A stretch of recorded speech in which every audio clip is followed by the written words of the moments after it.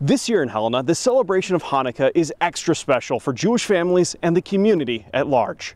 People of all faiths packed the historic Temple Emanu-El building to celebrate the occasion. There was food, games of dreidel, and of course the lighting of the menorah.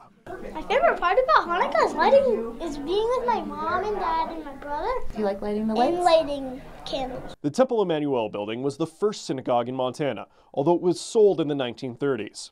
The Montana Jewish Project was able to reacquire the building this August, and this year marks the first Jewish community celebration of Hanukkah at the building in over eight decades.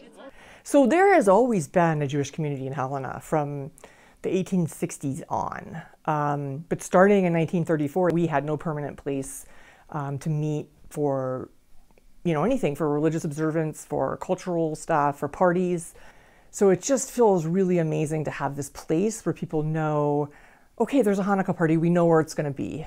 Those in attendance said they felt blessed to have such strong community support and are thrilled to have the Cultural Center.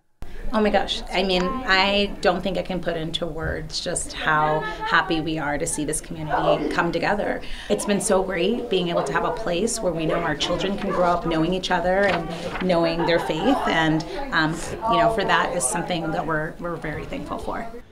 The word Hanukkah is Hebrew for dedication, specifically referencing the rededication of the Holy Temple in Jerusalem in 164 BC.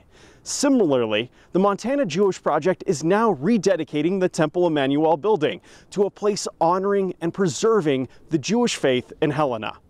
At its core, Hanukkah celebrates freedom of religious expression. After 87 years, those of the Jewish faith in Helena now have a place where they can celebrate their religion and share their faith with their community. In Helena, John Riley, MTN News.